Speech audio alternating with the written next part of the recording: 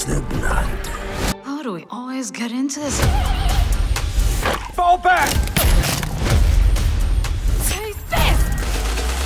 Bloody hell! Get me on the roof! Thank you, Layla. You better have a plan, Jacob! Don't miss. So that was fun. Welcome to Redfall. Redfall is our effort to take what Arkane does well, a hybrid of uh, first person games and RPGs, and stretch ourselves a little bit. Uh, does this work in the open world? Does it work both solo and with co op players? Uh, can we take all our narrative layers and our improvisational mechanics and our style um, and spread that out across an open world? For me, Redfall represents our most ambitious title that we've tried to do here in the Austin studio ever. It was super important for us to you know, let players still play by themselves and have that sort of like immersive Arkane experience, but, uh, but then adding three other player, up to three other players into the mix, of course, changes everything. Not only from the player experience standpoint, but just from develop, the development standpoint also. The, the reason I like making the kind of games that we make is because I like playing these kind of games, right? And so like, uh, it's the same reason I like tabletop RPGs too. Um, and it's, it's the, the allure of like, I want to witness and then mess with some dramatic scene. I want to come upon these tableaus and, and sort of like almost a ant farm like, like see what's going on, hear what they're saying, try to suss out what they're doing, and then I want to like jack with it in some way, you know, like to turn the vampire loose on them or put explosives down or snipe them from a distance, you know, or see some cultist fortress like real far away and try to figure out how am I going to get in there? You know, what's what am I going to find when I get in there? You know, that kind of stuff is like super enticing to me. Some of my favorite moments are just like sort of observation about how the world changes, the way we spawn different little vignettes across the world, and you catch people at different points on their patrol route, and day night changes things, and uh, it's uh, that's a powerful piece to me. Is like, wow, I feel like I'm in a living world. Yeah, I'm really excited about the setting of the town of Redfall. You know, it's like a lot of games you think it's not New York, it's not you know London or Boston or whatever. You know, it's it's it's quaint, it's small. Even though it's our biggest game, it's. Uh, it feels like small town Americana.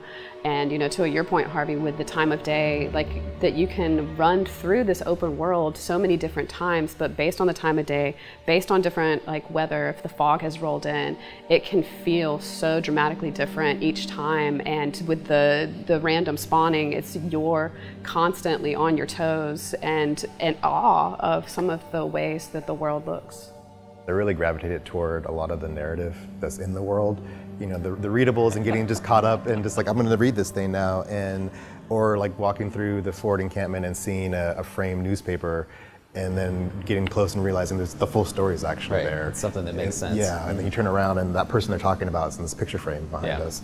Um, that and the forcing myself to take different approaches. Uh, I specifically remember kind of going through, and I have my one way I go for the first mission every time. This is the way I go across yeah. this bridge, go up there. Watching somebody else go down uh, into the lake bed, and there's a cave there that I had no idea. It just like completely blew my mind. So under kinda, the choppers crash, yeah, yeah. yeah. Um, I was even thinking as I was watching, they're going the wrong way. That's not how you. that's not how you go. But it kind of changed how I approach everything now, where I feel like I I have the way that I think about, and then I'm you know actually going to go this way this time, and it feels compelling to do that. So yeah. If I could add anything to that, or if I could put it into one word, it would probably be like uh, transported. Like we put so much effort into the narrative, into the world building, environmental storytelling, all that stuff that I, and it's part of the reason the games that I gravitate towards make me feel that way. You know, uh, so I hope players feel like they've been transported to some place that like feels real at the end of the day. Yeah, it's like that moment in time that you you feel these people have existing relationships that you're kind of being a part of. They're not just people just happen to pop up, you know, randomly. Yep.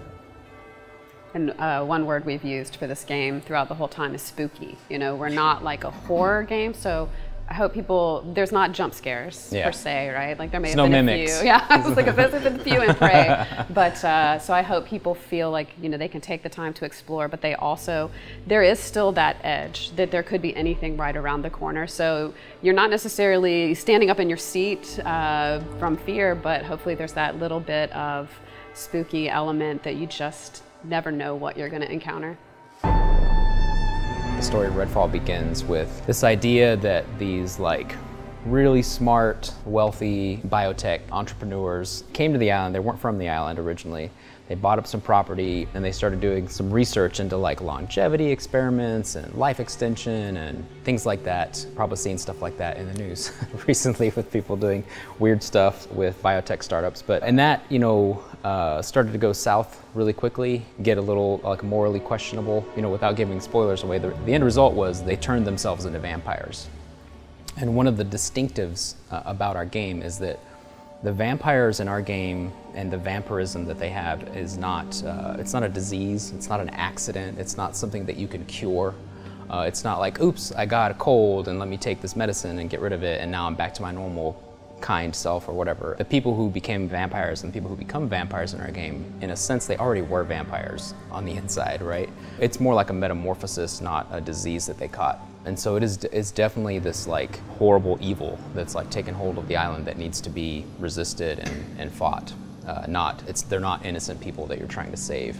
And they slowly, like a frog boiling water, they slowly took over the town and consolidated all the power. And that's where players find themselves now at the beginning of the game. We wanted to do something that was recognizable as vampires, but uh, but also a fresh take um, or a less common take. Um, so, you know, if they don't have fangs and they're not afraid of the sun and they don't drink blood, then the, they're not vampires. They have to have those elements to be vampires, basically. Um, but we wanted our vampires to be derived from science. Um, but we wanted to avoid the crosses, garlic, uh, running water kind of stuff in, in lieu of like uh, these are vampires that wanted this to happen to them. They wanted to live forever, even at the expense of other people, even if it requires the blood of others. They're horrible monsters. None of them are romantic interests or you know, aspirational. well, you know. they they are. I mean, maybe you're into they're them. like I they're, they're they're beautiful. Uh, most Yeah. of them are beautiful. They're aspirational. It's like what they envision themselves that they're just Right. they're great. It's great. like their own ideal exactly. self, They're which is something manifesting uh, fancy clothes and you know they're they're stylish. It's like what they they themselves envision themselves as. Idealized predators, yeah. And people who play the game will see the ecology of the sort of bootlicking cultists that follow them that want to be made vampires and um, you know the, the the humans that have been converted the vampires can modify them in different ways um, none of not all of them become vampires uh, nothing as grandiose as that some of them become like different types of familiars that are part of the gameplay ecology all the way up to the vampires and then sort of like specialized versions named versions like the vampire underbosses and things like that. And then we have a series of vampire gods, which are the most twisted, most changed by the whole process. Uh, and those serve as sort of chapter breakpoints across the game. Um, And the gods are the vampire gods are like the they have the most power. They're the ones trapping you on the island, right? They've pushed the waters back. They they're the ones that have blacked out the sun. Um, they're uh, they're tremendously powerful. I really latched onto the idea of them being dangerous people regardless. Kind of like you were saying, like they're they're irredeemable in that they're they're just being unleashed, and you know, they're- you're showing their true self at this point, right? For me, the uh, the cultists gave me a, really nice view into the vampires because you know we were talking about how they've already kind of be, become their worst self. But I think through some of the conversations with the cultists, you get to discover what that actually means and just how horrible you have to be to even just get to that point. so yeah, and then you can still end up not being a vampire at the end of the day. So which is in some ways showing the mirror of how they are really awful because they may not still turn you into the vampire.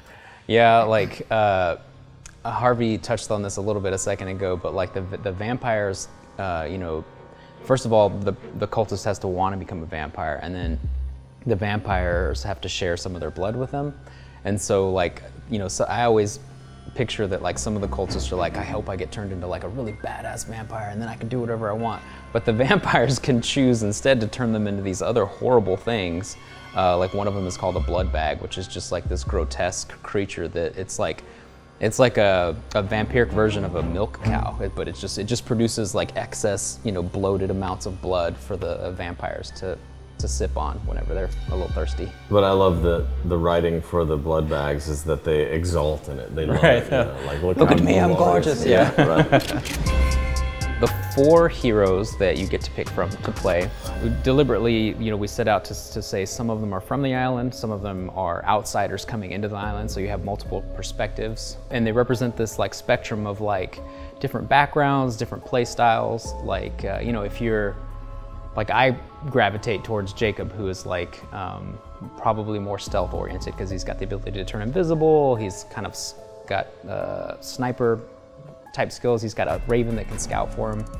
And all the way on the other end of the, spectrum, you've got somebody super wacky like Devinder, who's like uh, got a bunch of crazy gadgets um, that allow him to do bizarre things like, you know, uh, plant uh, javelins in the ground that spark lightning everywhere or teleport around.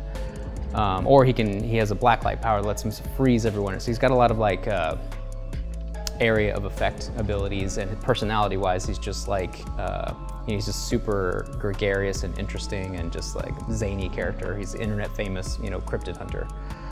Um, so i think there's like with the four heroes there's a little bit of something for everyone.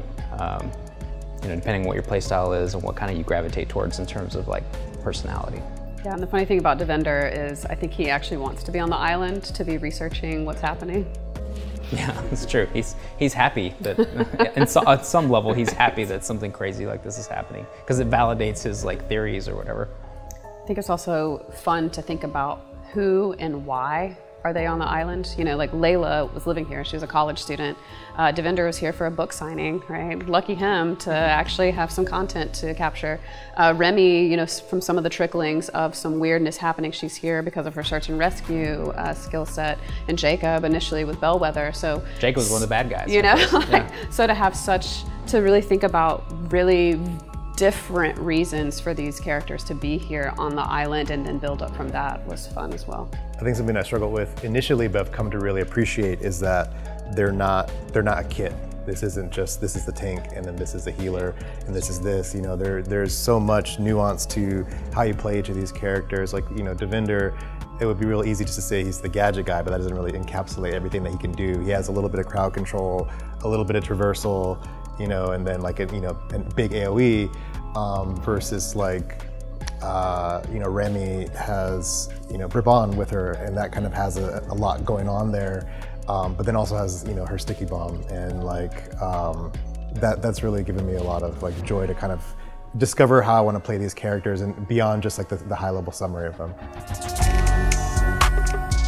So as you're playing through the game, uh, of course, there are, um, you know, we've come up with a suite of like really cool abilities and powers for players to choose from, just like we did in Prey and Dishonored. You have uh, tons of options. Um, and if, you know, if you happen to be playing as like, like if we all decide to play Layla's or Jacob's, um, you know, my Jacob might not be the same as yours because um, I may I may choose to like really drill down into the the, the Raven skill tree and like max that out um, before I pick any of the other skills.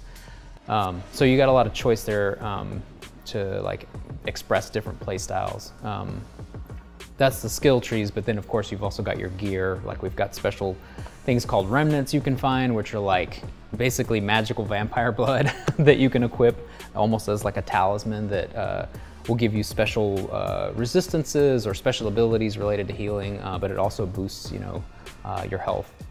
Uh, so there's lots of different ways that you can sort of customize your, your character's build. yeah and there's also ways for your friends to if you've leveled up certain skills to a certain point that your friends get to benefit from them Yeah. like i can if you're playing jacob and you level up cloak to a certain point i actually can cloak as well Yes.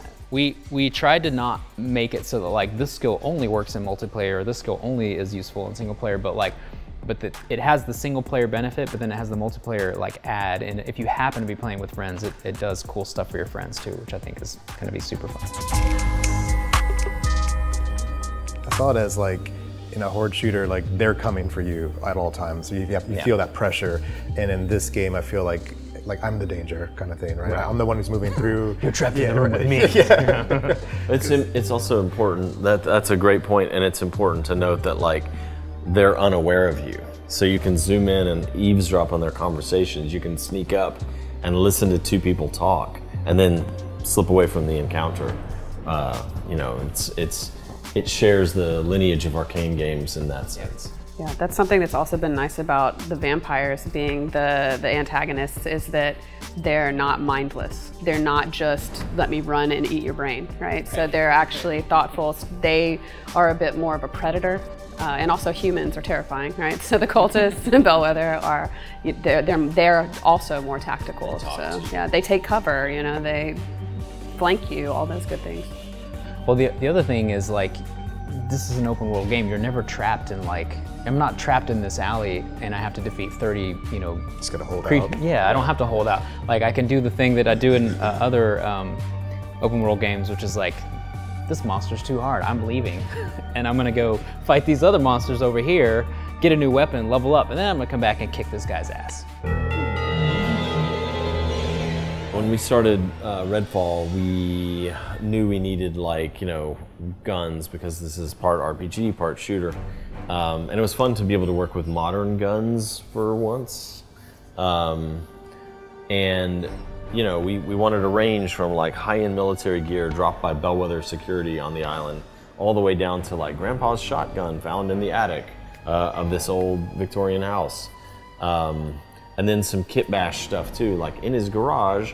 This this person made like you know a duct tape handgun that you know has a flashlight on it or something, right? So there's there's the, ranging from jury rig to high-end military and all that. Um, but very quickly we realized we also needed some vampire-specific weapons, and so the UV beam, which leads to a whole system of petrifying the vampires, from which they can thaw out if you don't if you don't stake them. The uh, stake launcher itself, which is like a found ammo type weapon, like broken off pool cues and snapped off mop handles and fireplace pokers and things like that. Steak knives. Yeah, and then like flare guns, which you'd find on a, a tourist island with sailboats and all, uh, they immolate vampires, and so they become like a little fireball launcher. Uh, and so the usual weapons that you that you love in games, sniper rifles and shotguns and uh, assault rifles and things like that, are fun to play with in our game, and they level up over time, and they have different traits on them, and so you're looking for the one with the right traits that you want.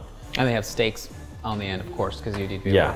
stake vampires. Right. Again, every time we tweak our fiction in some way, like vampires, it leads to whole systems like staking and petrification with UV light and all that. But but in addition to all those guns, we have the the set of vampire specific guns that are that are you know unique to the game. The best stake attachment in the game is the uh, is the garden gnome. I'm You don't like the broken guitar neck? Or? Oh, the broken guitar. I'm partial to the harpoon. It looks like a whaling Yeah. harpoon that's been cut off and put on the end of the rifle. So. We start with something really uh, weird uh, and fantastic, right? Like Dunwall or Space Station. And then we work to make it uh, so that players can understand the space and um, learn about the environment. But this time we started with something familiar on purpose. Like everybody gets like a small town, you know, on the East Coast. Everybody understands liquor stores and convenience stores and clinics and neighborhoods. Uh, so that part is awesome because you're immediately dropped into something you understand. But then the, the part that I like is then we twist it, right? The vampires, uh, they have they warp reality around them with their psychic abilities. So uh, the cultists, of course, build weird structures on top of the familiar settings that you'll encounter occasionally, and then the vampires like punch these holes uh, through reality and make these little pocket dimensions where they like sleep and gather power. Uh, and those spaces are some of my favorite because it's, everything's just like bent and twisted into this like sort of Halloween slash nightmare version of reality. And speaking to the size, I think the Talos and Prey was five football fields, and the size of Redfall is kind of hold my beer on that one. Uh, so we definitely challenged the whole team with making something this big. Yeah. I remember early on there was a moment we were working on District 2, which is a little more rural, and uh, Jim McGill took Talos at scale and dropped it in the middle of the farm that's there. And the district just eats the whole space station. Of course, it's gigantic. It was just the size of the actual like farm area. yeah. And that's just like one mission. Yeah. That's pretty crazy.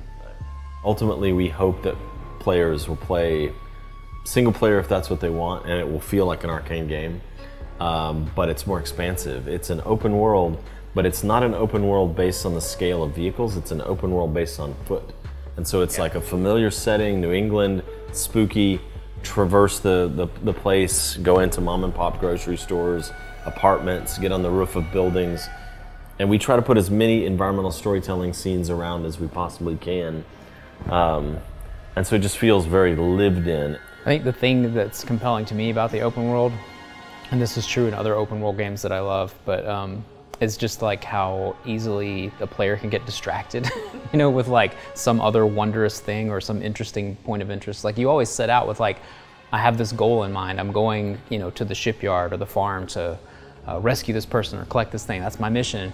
But like it takes me two hours to get there because uh, along the way, like a nest popped up, or I saw a vignette with some like cultists who were harassing some civilians that are tied up, or uh, I got ambushed by vampires, you know, um, or, or an NPC gave me a little side mission to go check out. Um, there's always something along the way that just like pulls me off the off the beaten path um, to, to check something out or discover something or loot something.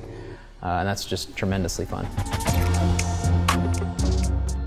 I'm thankful every day for like Arkane is a company where some of us have worked together for 20 plus years or 10 years or you know and there's a lot of cement there socially and a lot of creative chemistry and uh, even though some people have left and new people have joined us and all that it's been uh, it's been a blessing to have this team and this game and the company culture and we're in it together. We're gonna get through this. We're gonna ship our game no matter what, uh, no matter what virus hits us or whatever, you know. So, uh, but during this last few years, it's been a, a blessing.